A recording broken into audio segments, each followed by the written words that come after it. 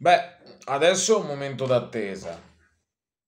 È un momento d'attesa. Perché ormai lo scandalo è partito qualche giorno fa. C'è il PD che esulta. C'è Fazio, scurati da Fazio, che fa il suo monologo. E qualcuno dalla platea, bravo, bravo,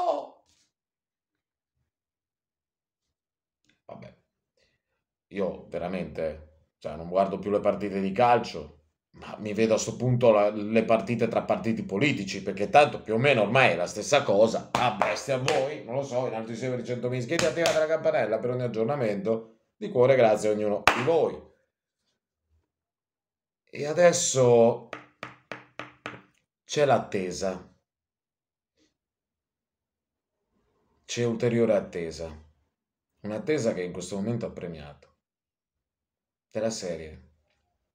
Ehi, la Meloni. Della serie La Meloni. Guardate un po' qua che ho.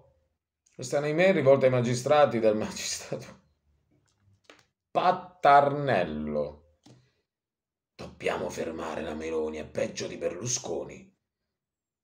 Uniti, uniti, uniti.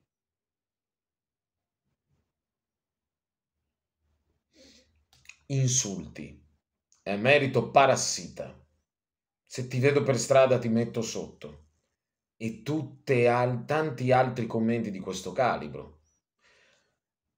Vittimismo, dice la Slime. Vittimismo, vittimismo, quale vittimismo? Vergogna, vergogna, vittimismo. Vitimizzare così questa... Non vitimizzare, a condannare così questa persona pubblicamente in pubblica piazza. Si vergogni, si vergogni. Vittimismo, vittimismo.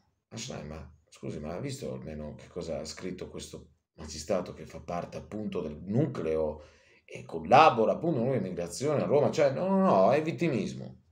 Io non sono pro Meloni, però richiedere un arresto, richiedere, ripeto, un arresto per il magistrato, no.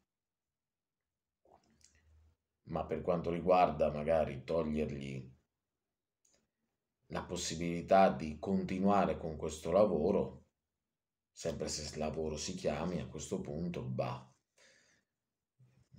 Tempi, tempi bui vedo per questo paternello, molto bui. Voi cosa fareste?